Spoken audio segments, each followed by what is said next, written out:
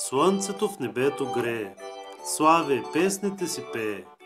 Лято е, навред в гората, шири се горещината. Малък зайко чака ред да си купи сладолет.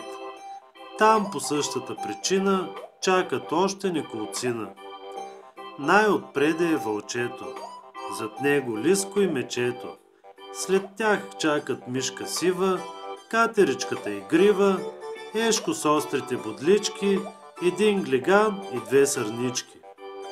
Май ще мине доста време, зайко докато си вземе. Ала той не се предава, знае, че се заслужава. С другите да чака дружно, време колкото е нужно. А когато дойде ред да си вземе сладолет, ще си хапне с наслада, вкусна ледена прохлада.